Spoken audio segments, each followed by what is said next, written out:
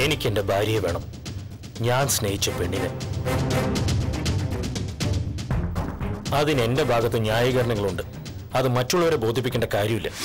ഒരുത്തം മരിച്ചിട്ടുണ്ടെന്ന് മോൾ പറയുന്നുണ്ടെങ്കിലും അവൻ ചുറ്റിത്തിരിയുന്നുണ്ട് അവനെ എനിക്ക് പേടിയില്ല അമ്മച്ചി. അവൻ എന്നെ ഒന്നും ചെയ്യാൻ പോകുന്നില്ല. ഇപ്പോ ജീവിച്ചിരിക്കുന്നവരെ കുറിച്ച് ഓർത്തിട്ട് എനിക്ക് ഭയം. സാറിങ്ങനെ ഏത് നേരവും രോഹിണി മോളെ സംശയിച്ചുകൊണ്ട് നടക്കുന്നത് ശരിയല്ല. എന്റെ അഭിപ്രായത്തിൽ ആ കുട്ടീന്റെ ഭർത്താവ് ജീവനോടുണ്ട് എന്ന് അറിഞ്ഞപ്പോ തന്നെ സാറെല്ലാം മറക്കേണ്ടതായിനി അതിന് പകരം ആ കുട്ടിയിൽ ഒരു കുഞ്ഞ് വേണമെന്നാ സാർ ആഗ്രഹിച്ച്. ഫോളോ ചെയ്യൂ. ഫോളോ ചെയ്താലും കുഴപ്പമില്ല. എനിക്ക് എന്റെ ശരത്തേട്ടനെ കാണണം.